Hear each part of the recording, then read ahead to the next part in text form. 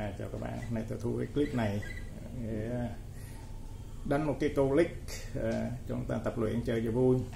À, phải đánh hai năm một à, re son do.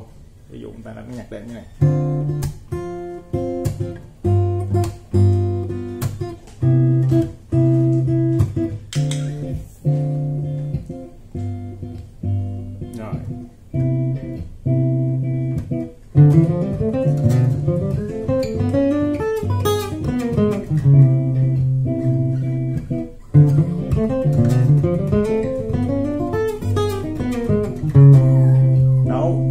Này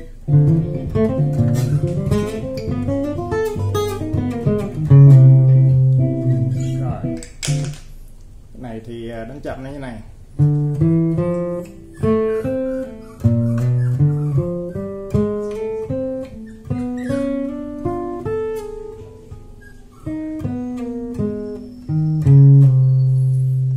Các bạn nhìn nó vậy, nhưng mà thật ra nó chỉ có rê.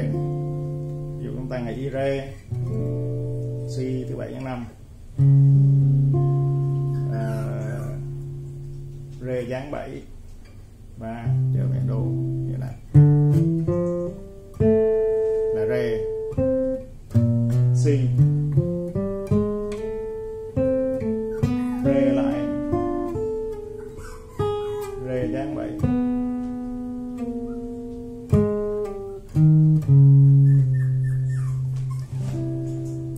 Này thì à, nếu bạn nào muốn đấu đấu nếu bạn nào muốn uh, uh, con nốt uh, và cái cái tab later cái tab tôi để à, thì theo cái đường dẫn vì cái YouTube này không up lên được nha.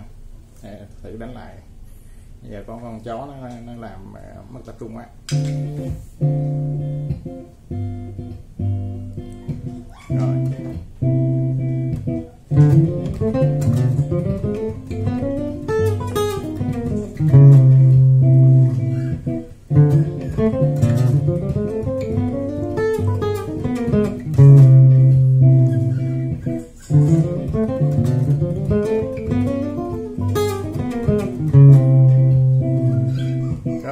até.